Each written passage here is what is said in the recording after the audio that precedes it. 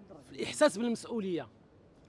اليوم كانت كان يوم تاريخي لأنه لم يحصل في تاريخ الجموع العامة أو تاريخ في تاريخ الفروق أنه تمكنا فريق أو تمكن فريق من الفروق أنه ينظم اربعه ديال الجموع العامة وكتمر في جو من الشفافية جو من المسؤولية والاعتراف. الاعتراف بمكامن الخطأ الاعتراف بأخطائنا. الاعتراف بنقائصنا ولكن الإيمان بقوتنا بقوة طموحنا طموحنا كوداديين وكجمهور ديال الوداد البيضاوي اليوم عبر عبروا المنخرطين من خلال انتخابهم بكل حرية بكل حرية على جميع الملاحظات فيما يخص لا التقارير الأدبية ولا التقارير المالية ولا حتى في مجال التصويت على الإخوان اللي تحمل المسؤولية في هذه المدة. اليوم كنظن خصنا نعتزوا كوداديين نعتزوا بأننا اليوم كنسجموا مع التطور اللي كتعرفوا كرة القدم الوطنية واللي سهر عليها صاحب الجلالة. بغى يجعل من كرة القدم الوطنية وجعل منها أنها رافعة للتنمية ماشي غير فقط للرياضة رافعة للتنمية. اليوم كنبرروا كنبرهنوا مرة أخرى بأننا فعلا نادي الوداد هو قاطرة كرة القدم الوطنية.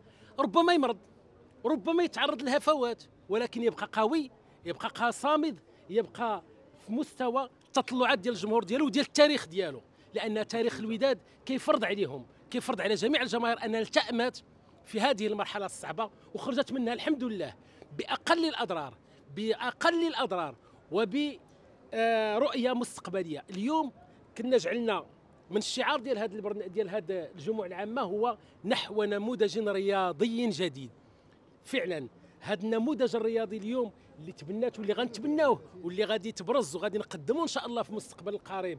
الخطوط العريضة ديال هذا البرنامج اللي هو برنامج يستشري في المستقبل. كيحاول يجعل من هذه المؤسسة فعلا مؤسسة احترافية تقارع كبار العالم.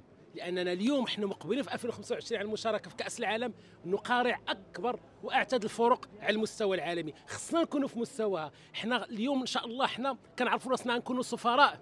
ديال كرة القدم الوطنية في واحد المرحلة صعبة جدا ولكن سنتسلح اولا بتنظيم احترافي مسؤول وإن شاء الله نتمنى التوفيق وهذا بفضل اولا الجماهير ديالنا لأنها جماهير متعطشة للالقاب وجماهير في مستوى التحديات اللي كتلاقيها. شكرا.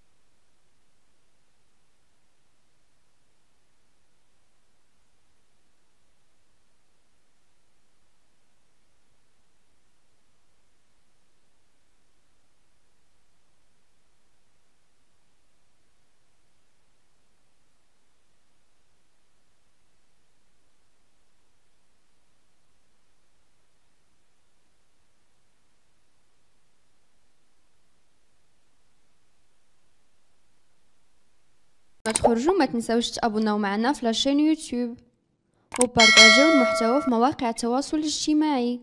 وما تنساوش ديروا j'aime.